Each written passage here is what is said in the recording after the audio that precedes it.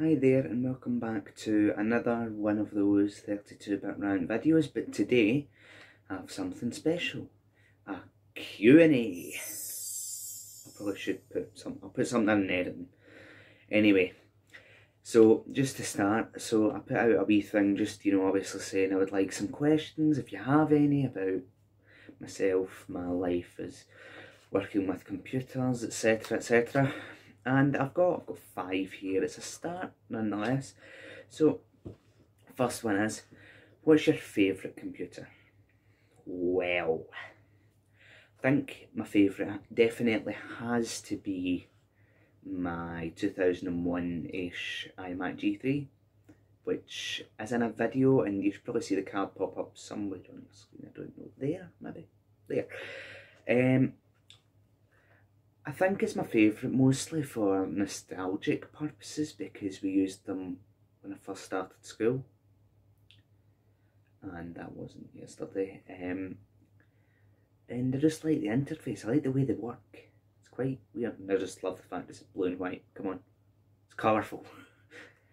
Um, so the next question is how many computers have you had throughout your life? Now this is complicated because I've borrowed a couple and then returned them and so on. So I can't give you an exact figure, but I reckon out of what I'm using just now, I've got my my retro Toshiba laptop and my Dell along with my gaming desktop which is currently out of action now because the PSU blowing up there's obviously the Mac and so on. So the stuff I've borrowed, the stuff I've used, and the stuff is being sold that I don't need anymore. So what happens is sometimes I'll buy stuff off eBay and then if it's for parts, try and repair it and then try and sell it for profit. If that doesn't work, I'll at least try and sell it to break even. And if it just if the thing doesn't work at all, it just gets thrown out if I can't fix it. So I hope that kind of answers that question.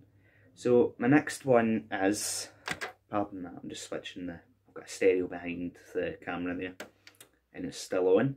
So question three is, if you could have any computer in the world, what would it be? I don't know that, the answer to that actually, I know I don't think about it very much. I'd like something that's pretty awesome with like Voodoo two 2's an SLI or a Voodoo 5 the one that's got like millions of chips on it, the insane one like six thousand or something it's called, can't remember. Something like that. I just want something nineties and insane, running Windows ninety or two thousand or whatever. Just something awesome. um. Fourth question here is, what age were you when you got your first computer? Now, my first kind of thrown into the world of computing and so on was the Macs and the primary, but they weren't mine. So I would definitely say my first like proper computer was a laptop in 2012, and it was it's a red it was a red one from Dixon's Advent brand, I believe, and it was it wasn't great actually. It was pretty slow, but see see when you're like pretty young, it doesn't make much of a difference. It's a good bit of kit um, when you're younger, as long as you can go and do whatever, Club Penguin, Bin Weevils, whatever you played. Um, however, the family PC was an icon from 2005, but I never really got to use that until we took it out the loft recently, because even if I did use it when I was a lot younger, I don't have any recollection of using it. So that's where it's a wee bit complicated. So I've kind of answered the next question as well, which what was your first computer? Now, after, I'll just put in a wee bit more here, um, which kind of links back to question two about how many computers I've had in my life. After I received the Advent, I had it up until 2019, but in 2018 the screen broke, so it was just running off the off an external monitor. And in the in January 2019, I bought an HP EliteBook 8470, I believe. And that's actually served me really well, but the screen's broken on it now due to some stupidity of my own.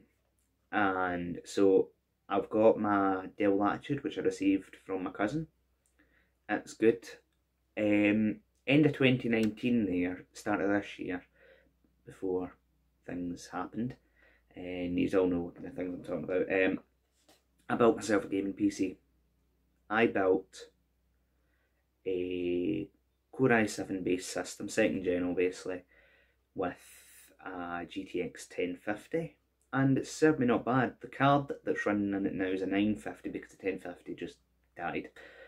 So I thought, you know something, I need to build something for gaming because my laptops aren't quite cutting it. My first retro PC, my first kind of being chucked into the retro PC scene was a Fujitsu PC, very old one at that, 1998-ish running with Celeron. It's actually been reviewed on the channel. It should appear on the card if I put it in, or if I remember to put it in. That's another thing. Um, so that's kind of how all this worked. I've used, owned, borrowed a lot of different PC equipment, and I've delved into Macs occasionally as well. I mean, I could say that currently I would like to get myself like a PowerBook G4 but they're a little expensive, especially the titanium ones, which is the kind of ones I want. So it can wait just now because I'd like to be able to get the G3 running properly and move on with some other stuff I've got planned.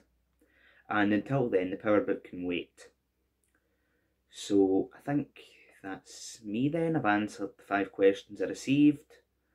Um, if you'd like to submit questions in the comments, I will try and reply to them. I should be able to, unless something catastrophically weird happens. However, in the meantime, thank you for watching. Like, subscribe, and do whatever else. Um, thank you, and good night.